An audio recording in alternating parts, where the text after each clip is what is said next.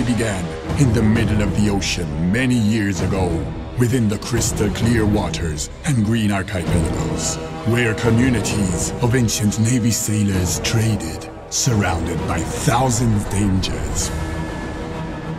At that time, pirate law was in force on the seven seas, and shamans shaped the world with fearsome voodoo rituals.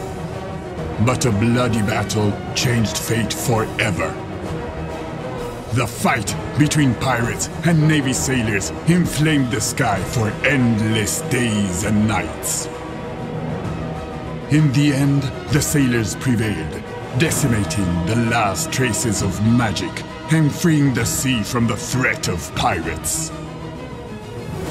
After the battle, the triumphant navy erected an impenetrable fortress, founding the 800 years old kingdom of the Seven Seas and vowing to maintain the conquered peace forever.